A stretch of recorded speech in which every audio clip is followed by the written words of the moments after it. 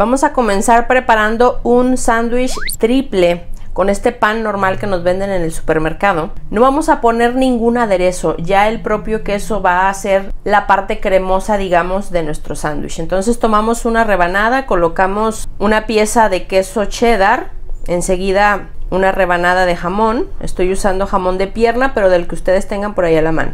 Luego enseguida otra rebanada de pan, luego una rebanada de queso suizo o de queso blanco o de cualquier otro queso que se pueda derretir y hay que asegurarse que estas rebanadas que estamos usando no rebasen el tamaño del pan.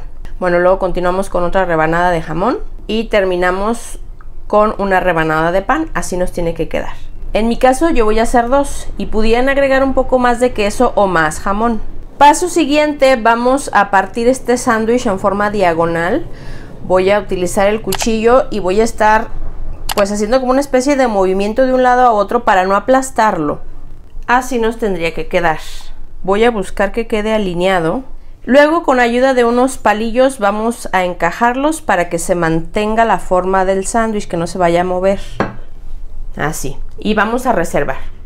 Paso siguiente vamos a preparar una mezcla para rebozar estos sándwiches. Para ello vamos a necesitar una taza de harina de trigo de todo uso, Allí vamos a agregar una taza de agua que debe de estar fría, dos yemas de huevo, una cucharadita de bicarbonato de sodio y vamos a mezclar. La idea es mezclar únicamente en cuanto ya no veamos grumos. Al final nos tiene que quedar con esta consistencia. Para el siguiente paso me voy a poner la mezcla que acabo de preparar aquí junto a la estufa. Tengo también aquí de este otro lado una pequeña ollita con aceite abundante porque quiero una fritura profunda. Y tengo aquí los rectángulos de pan de los sándwiches que preparé. Voy a tomar uno de los triángulos y lo voy a sumergir en la mezcla que acabo de preparar, asegurándome de que quede por todo el exterior. Luego enseguida lo voy a tomar procurando que escurra el exceso y enseguida lo voy a pasar al aceite que ya debe estar caliente.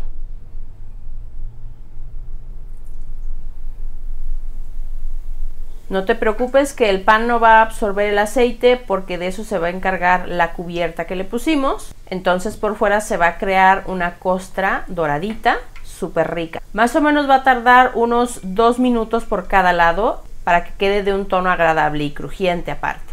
Después de algunos minutos, así va quedando con este color. Yo creo que ya lo voy a retirar.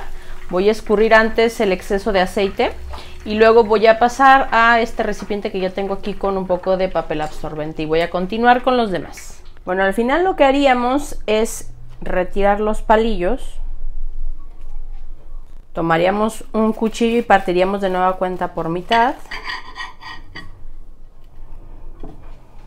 Así se alcanza a percibir el quesito derretido, esponjoso el pan y por fuera la cubierta dorada.